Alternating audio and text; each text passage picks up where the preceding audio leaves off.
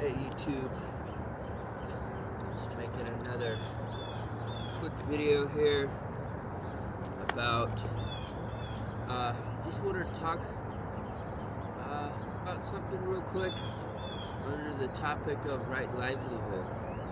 You know, it's early in the morning, I'm feeling really good, just had my breakfast, some, some oranges. I'm gonna go eat a little bit more uh, before I before I get my day going here and I just wanted to, uh, you know, mention something about, uh, yeah, under the under the, the heading of right livelihood. You know, to think of one thing that you could do to to benefit the community, uh, utilize your talents, um, something long term that, that, that that you can do that coincide with your uh,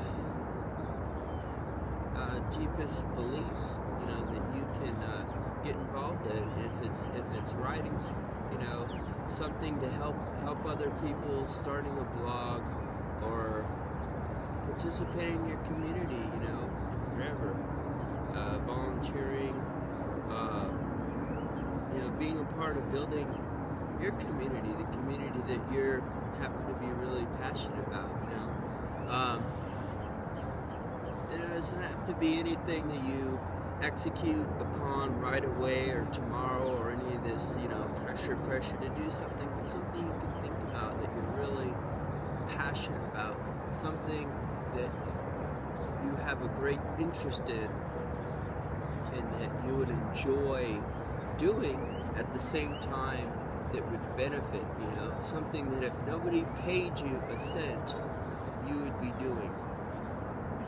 You know, so I encourage you, find those one or two things, put it on your list, develop those ideas, and go for it. Maybe you want to start a charity.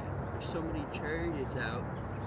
You know, God knows where all the money goes to. I mean, a little bit of a cynical perspective, but you know, start your own charity if you want to help kids or if you want to be a part of your community or you uh, want to start a community go ahead and do it. You know, if you want to have a festival for, you know, this or that or some community event, do it. The worst that can happen, no one will show up, nobody will give you money, nobody will respond to what you're doing. But they're already doing that now because you haven't done anything. So think about something that you could do in a year from now, in six months from now, in two years from now, in five years from now, or in two weeks from now to help the community, to build a community. If you build a community, you have a community. So there's no excuse. Again, this is all going back to these four pillars, taking responsibility. Take responsibility for what you do. So at this point, we're taking responsibility for how we think about things, building a community. You know, there's little things, little projects I would like to do the worst I can do is not do it. The best I can do is do it. You know, the worst that can happen is it fails. but you know, it's no uh, it's no skin off your back if it if it fails.